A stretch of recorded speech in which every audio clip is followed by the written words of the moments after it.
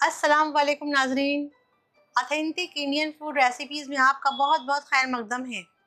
आज हम महाराष्ट्र की बहुत ही फ़ेमस और बहुत ही चटपटी डिश जो है, साबुदाना वड़ा, ये आपके साथ इसकी रेसिपी शेयर कर रहे हैं। तो साबुदाना वड़ा बनाने के लिए जिन अशिया की ज़रूरत होगी, वो यहाँ आपको बता रहे हैं। तो साबुदाना बड़ा बनाने के लिए सबसे पहले तो हम लेंगे साबुदाने और इसको क्या करना है कि धो लेना है पहले। इसका जो स्टार्च है सारा निकाल देना है। जब तक साफ़ पानी ना आ जाए, तब तक धोना है। दो तीन पानी के बाद, धोने के बाद में इसको भिगोना है। जितना साबुदाना होगा, उसका जितने मेज़रमेंट से आपने जैसे एक कटोरी साबुदाना लिया है तो एक ही कटोरी पानी और थोड़ा सा एक दो चम्मच और पानी ऊपर डाल के इसे आप भिगो दें। यानी कि बराबर, जितना साबुदाना है उतना ही पानी आप डाल के भिगोगे तो बराबर हो जाएगा। तो पूरा पानी इसको सोख लेगा और इस तरह से ये सॉफ्ट हो जाएँगे और जब आप उसको देखेंगे कि चेक करना चाहेंगे कि ये बराबर हुए हैं या नहीं तो एक दाना कोई भी लेना है और इसे अपने हाथों में, उंगलियों के बीच में ऐसे इस तरह से दबा के देखना है। अगर दरमियान में कोई दाना नहीं रहे, बिल्कुल मैश हो जाए तो समझ लिए आपका साबुदाने का जो है ये टेक्सचर बराबर है और आपका वड़ा जो है बहुत अच्छा बनेगा। ये हमने 200 ग्राम साबुदाना लिया है। और जब ये सूखा था, अब भिगोने के बाद में तो ये दुगना हो गया है तो 200 ग्राम ही हम आलू लेंगे। अगर आलू ज़्यादा हो जाते हैं तो बड़े फटने लगते हैं। आलू कम हो जाते हैं तो सिर्फ़ साबुदाना साबुदाना दिखाई देने लगता है। तो इसलिए जितना साबुदाना है, उतना ही आप आलू लें। अगर आपने भिगो दिया है और आपका अंदाज़ा नहीं है तो तब भी क्या करना है कि जितना साबुदाना है, उससे कम ही आलू लें। आलू अगर ज़्यादा लोगे तो आपके साबुदाने बड़े जो है परफेक्ट नहीं बनेंगे।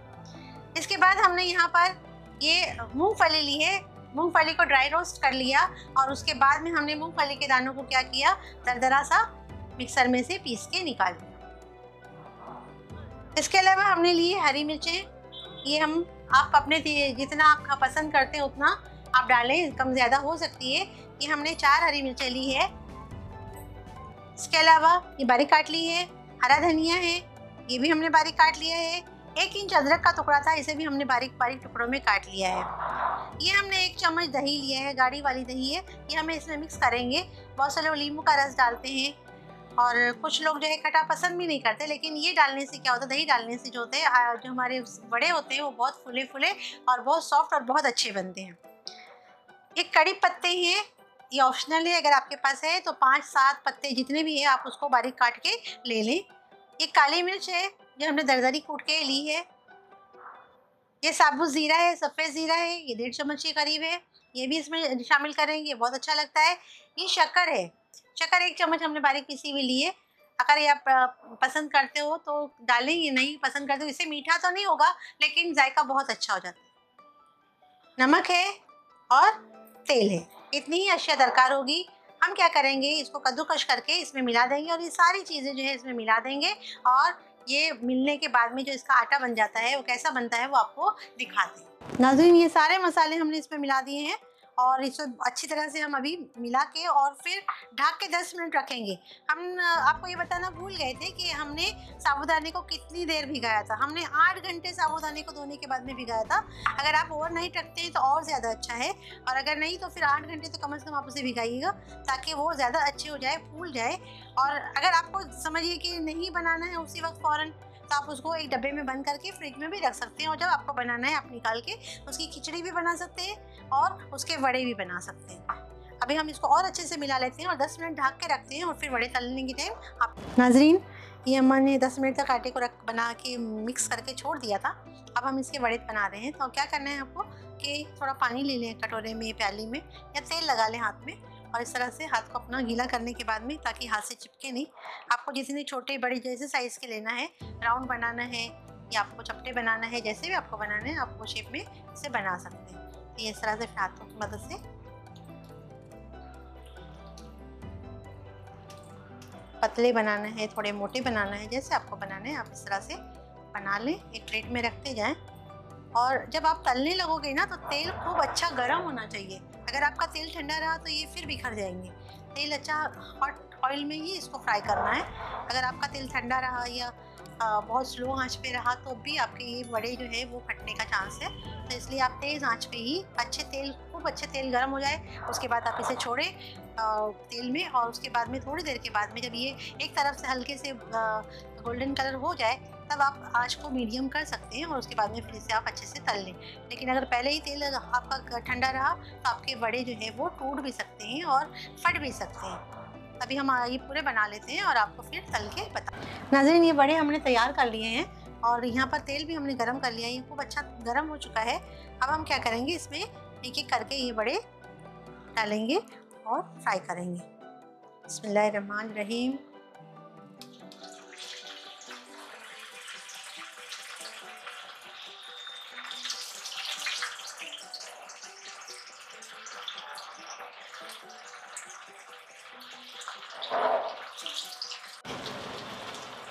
इसको पलटने की कोई जल्दी नहीं करना है। इसे होने देना है। हमारी गैस की फ्लेम बहुत तेज़ है। बहुत से लोग कहते हैं हमारे बड़े जो है सही बनते नहीं हैं, फट जाते हैं या ख़राब हो जाते हैं, बिखर जाते हैं। लेकिन इस तरह से अगर आप तेज़ आँच पे तलोगे और आलू जो है उसका और साबुदाने का जो मेज़रमेंट है वो बराबर लोगे तो आपके साबुदाने बड़े हमेशा बहुत अच्छे बनेंगे। पलटने की जल्दी नहीं करना है।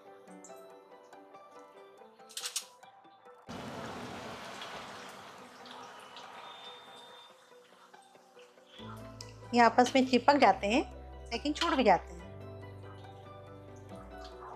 बहुत आहिस्तगी से इसे अलग करना है, छुड़ाना है।